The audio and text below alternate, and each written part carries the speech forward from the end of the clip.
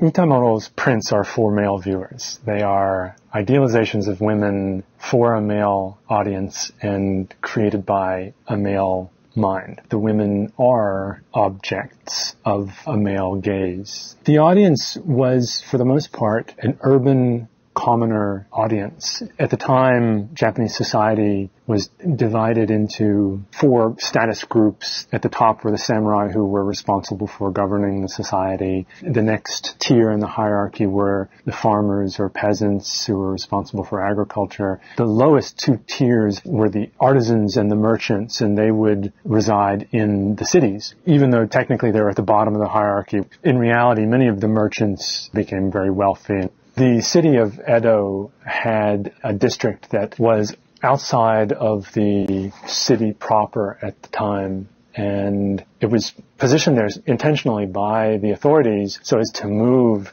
immorality outside of the urban space. It's within these pleasure quarters that the urban commoner culture really developed and flourished. The artists and printmakers were living within these pleasure quarters and the women depicted the tea house waitresses and the courtesans were participants in this culture. Within that urban population, it was the artisans and the merchants who were both the subject and the audience for the prints. These were not necessarily for a highly literate audience. What's really significant here is that a very broad audience is participating in the viewing, creation, and consumption of this shared body of knowledge. The shared set of assumptions and reference points prevailed not only among elites, but also among the general population as well.